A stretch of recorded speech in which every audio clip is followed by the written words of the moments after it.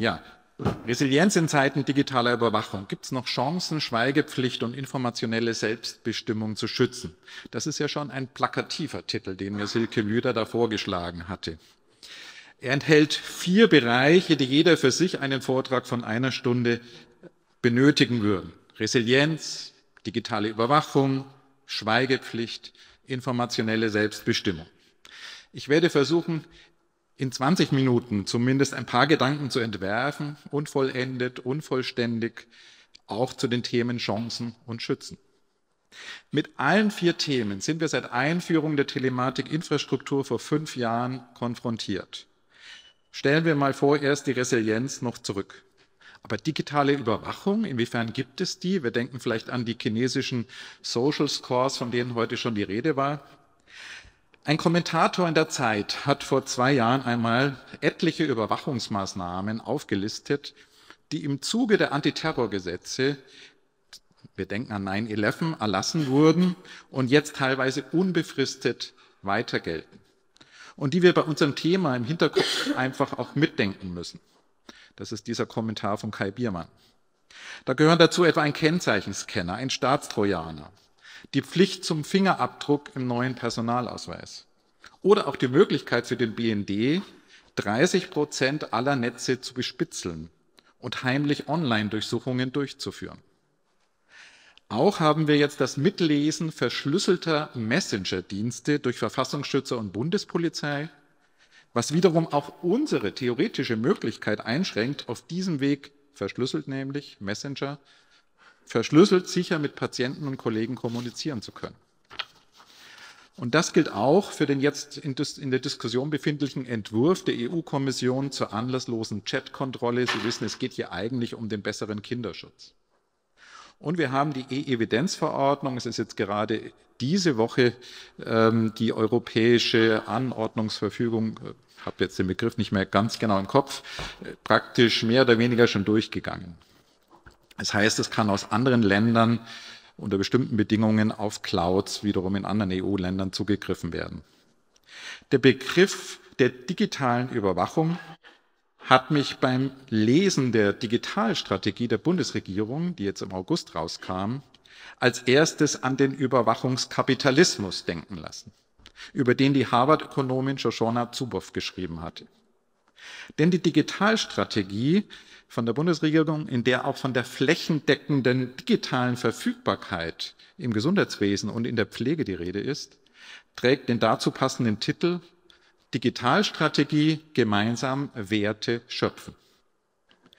Nicht umsonst hat beispielsweise netzpolitik.org, das sind kritische Digitaljournalisten, haben die dazu kritisiert, dass diese Strategie nicht den versprochenen umfassenden digitalen Aufbruch bringt, sondern das offenbare, was die Bundesregierung zuallererst unter Digitalisierung verstehe, nämlich Wirtschafts- und Technologiepolitik.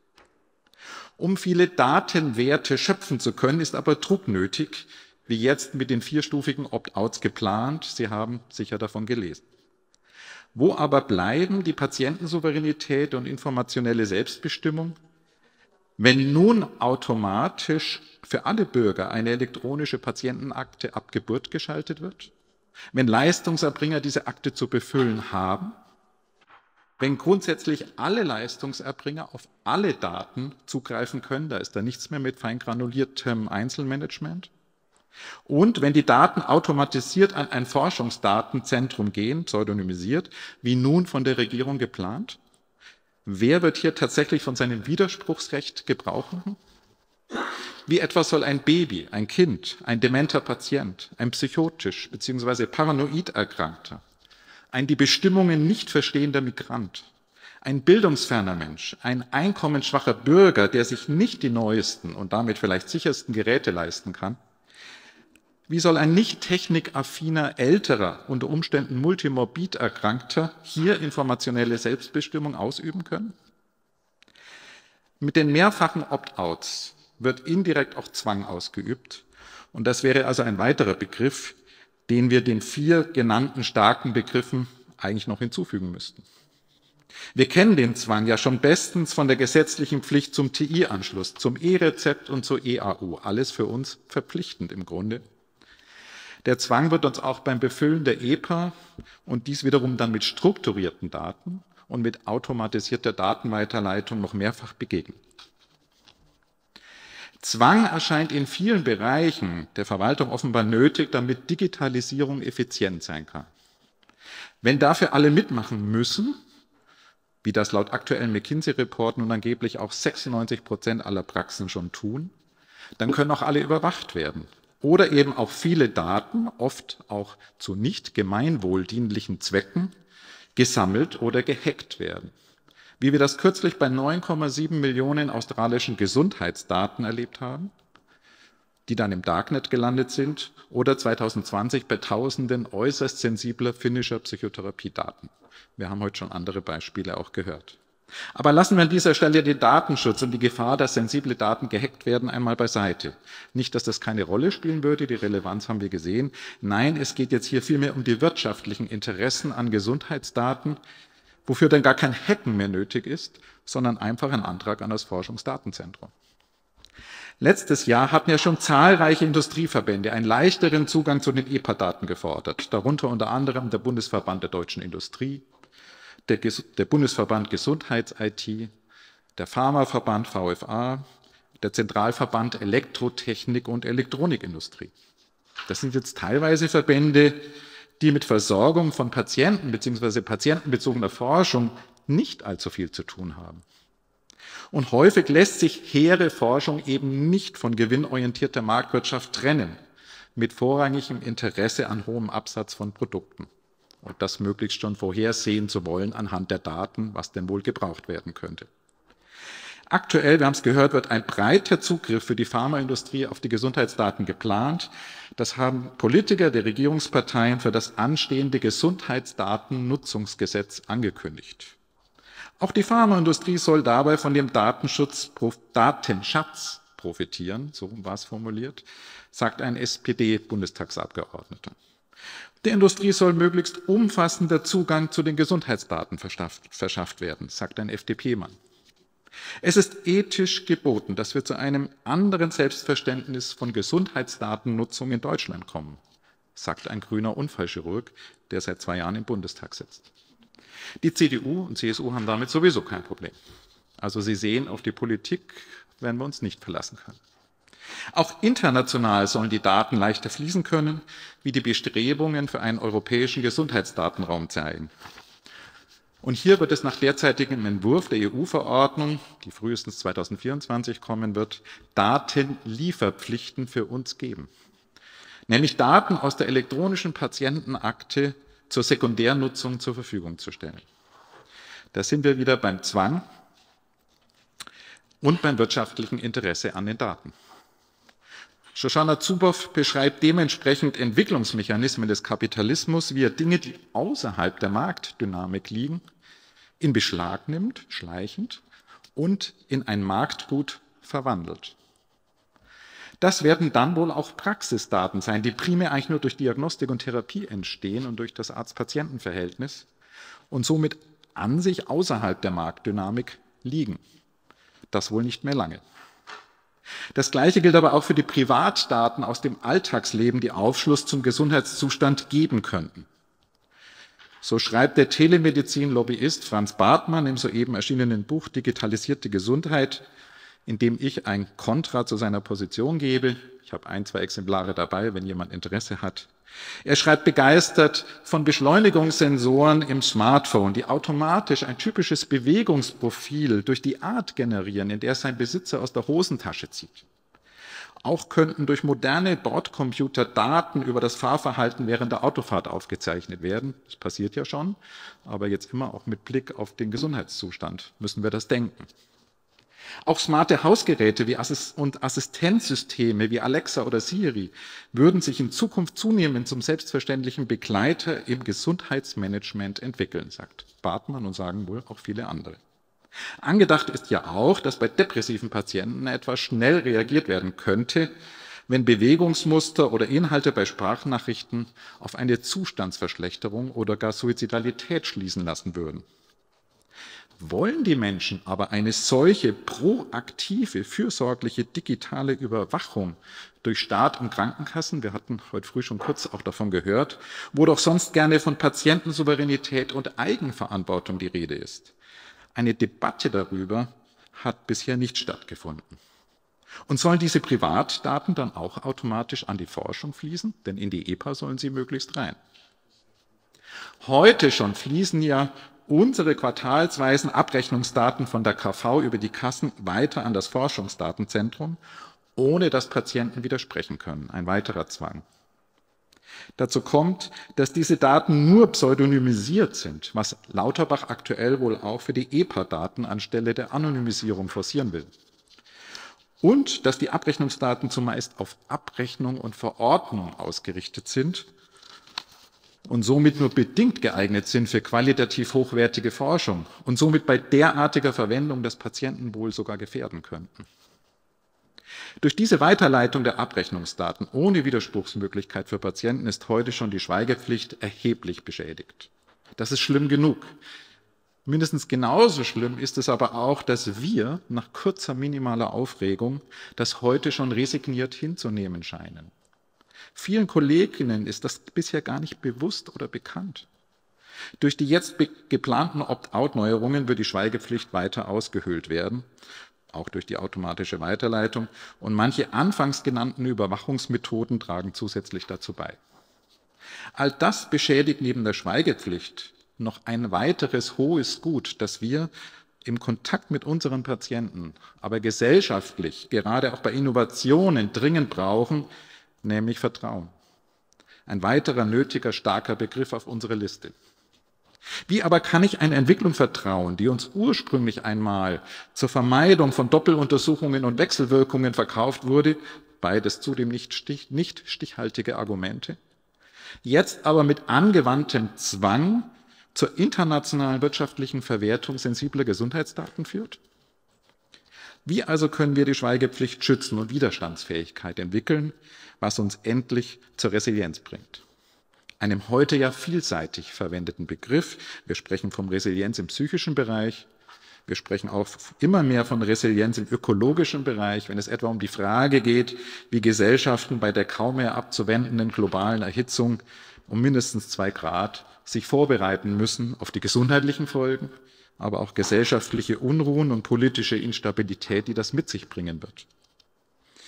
An dieser Stelle muss schon auch einmal angemerkt werden, dass Digitalisierung immense und weiter steigende Mengen an Rohstoff, Rohstoffen und Energie verbraucht und damit zur globalen Erwärmung beiträgt. Immer mehr wird aber auch von digitaler Resilienz gesprochen und dafür gibt es jetzt auch bereits ein eigenes Institut, das davon spricht, dass sich gerade durch die derzeitige Häufung von Krisen und schlechten Nachrichten bei der Hälfte der deutschen Internetnutzer Ermüdungserscheinungen zeigen und immer mehr Nutzer etwa aus den sozialen Medien aussteigen. Weiter zeigen Untersuchungen, dass sich jeder Dritte mittlerweile von Dynamik und Komplexität der Digitalisierung überfordert fühlt und bei den Digital Natives unter 30 auch schon jeder Vierte.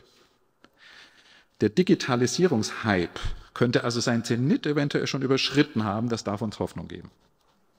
Dabei spielen laut dieser Untersuchung Faktoren eine Rolle wie die Leistungsüberwachung, wie am Arbeitsplatz zum Beispiel, die Sorge, eine gläserne Person zu werden, die Nichtverfügbarkeit der nötigen Technologien oder auch die Komplexität der Technik mit ihrer Unüberschaubarkeit.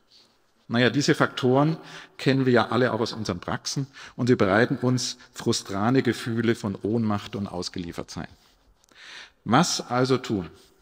Der Nachhaltigkeitsforscher Tilman Santarius empfiehlt angesichts des schon erwähnten Energie- und Ressourcenverbrauchs von Digitalisierung so viel Digitalisierung wie nötig, so wenig wie möglich. Das ist letztlich auch die Leitschnur, die wir im Bündnis für Datenschutz und Schweigepflicht verfolgt haben.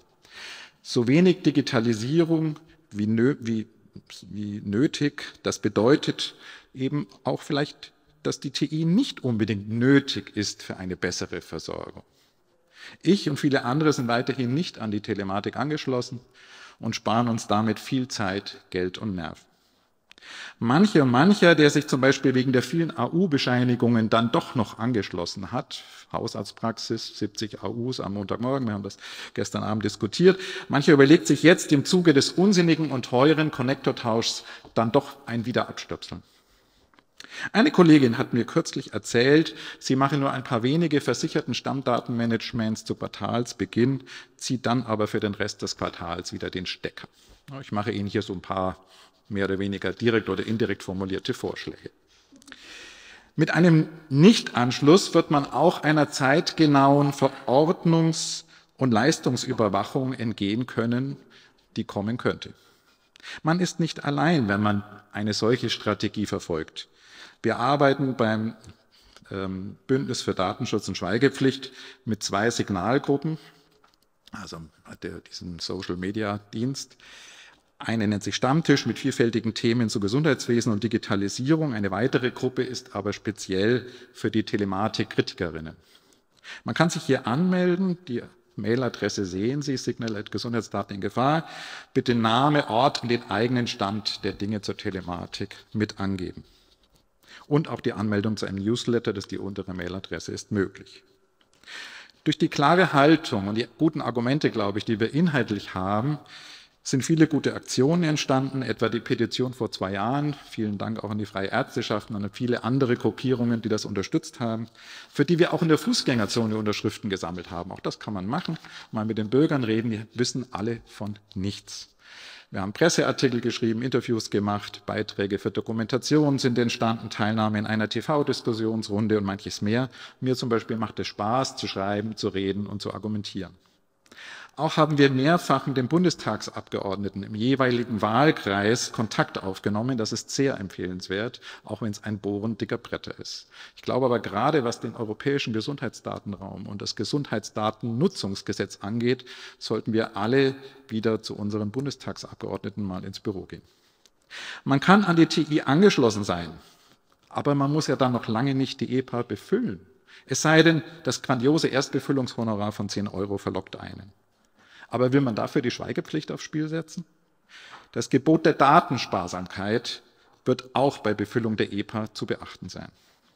So empfiehlt selbst der Ex-Gematik-Mitarbeiter und vehemente EPA-Befürworter Mark Langgut im heuer erschienenen Buch Die digitale Arztpraxis, Zitat, abweichend von der Empfehlung, möglichst alle medizinischen Dokumente in die EPA einzustellen, die sollten Dokumente, die besonders sensible und potenziell stigmatisierende Informationen enthalten, nur dann in die EPA eingestellt werden, wenn der Patient der Speicherung zustimmt und aus ihrer ärztlichen Sicht der Nutzen der Speicherung in der EPA den möglichen Schaden eindeutig zu überwiegen scheint. Zitat Ende. Also sensible und potenziell stigmatisierende Daten gibt es nicht nur im psychiatrischen und psychotherapeutischen Bereich. In der Praxis merke ich, dass ich bei den Abrechnungs- und Dauerdiagnosen wieder mehr darauf achte, welche und wie viele Diagnosen ich hier eingebe. Es ist vorhin schon eingeklungen. Gebot der Datensparsamkeit vielleicht auch lieber weniger als mehr. Ich nutze auch keine Online-Terminvergabe. Datenlecks hat es bei Dr. Lip schon gegeben, wir haben das gerade gehört. Große Praxen benötigen dies vielleicht. Ich würde aber nie die volle Terminkontrolle aus der Hand geben wollen. Und es geht online eigentlich niemandem etwas an, wer in welcher Praxis bei welcher Fachrichtung Termine vereinbart. Ich versuche unterm Radar zu bleiben. Man ist ja heute nicht, immerhin auch bis heute nicht gezwungen, einen Überwachungsspion in der Hosentasche zu tragen. Ich nutze immer noch meinen schönen Handschmeichler, das gute alte Klapphandy.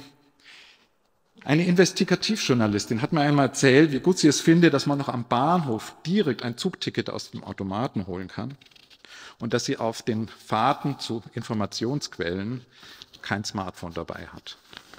Es ist schon seltsam, in welchen Zeiten wir heute leben. Und es wird gelten, Patienten sorgsam über die Opt-out-Neuerungen aufzuklären. Und vielleicht nicht erst, wenn sie gesetzt sind, denn dann ist es zu spät. Patientenaufklärung ist medizinische Kerntätigkeit. Auch später wird man dann kaum zur EPA-Befüllung, Datenspende oder automatisierten Datenweiterleitung raten können. Wir hatten zum Beispiel 2020 schon einen EPA-Flyer entwickelt, wir haben ihn eigentlich gar nicht so oft vergeben, weil die Patienten das ja gar nicht nachfragen. Ich glaube, dass Vernetzung untereinander jetzt umso dringender nötig ist, auch mit anderen TI-kritischen Gruppen. Aber wir müssen auch wieder mehr Druck in den Fachberufsverbänden ausüben, dass die nicht, auch wenn gerade keine Wahlen sind, eben trotzdem kritisch bleiben und äh, das mit kritisch nach oben vertreten. Denn sonst werden wir von Patientenbehandelnden zu Datenliefernden. Wenn wir all diese Möglichkeiten, die ich jetzt angedeutet habe, berücksichtigen, bestehen noch Chancen, die Schweigepflicht und informationelle Selbstbestimmung zu schützen. Nur Honorarabzüge vermeiden und bequem in Ruhe weiterarbeiten zu wollen, wird da nicht mehr reichen. Denn wir werden leider nicht in Ruhe gelassen. Das dürfte deutlich geworden sein. Vielmehr benötigen wir einen hohen Grad an kritischer Aufmerksamkeit und an Selbstbewusstsein dafür, gegebenenfalls gegen den Strom zu schwimmen und sich leider in einen juristischen Graubereich zu bewegen. Wie das halt so ist bei zivilem Ungehorsam, der uns zurzeit ja häufiger begegnet. Wir müssen uns überlegen, ob auch wir ausschließlich wirtschaftliche Interessen verfolgen wollen und dabei aber zu Datenlieferanten für Industrie und Wirtschaft werden oder ob wir zum Schutz unserer Patienten, der Schweigepflicht und auch unserer Praxisarbeit unbequem werden und Widerstand gegen Zwang und Überwachung im Gesundheitswesen leisten, was einen auch aus so manchem Ohnmachtsgefühl befreien kann. Vielen Dank.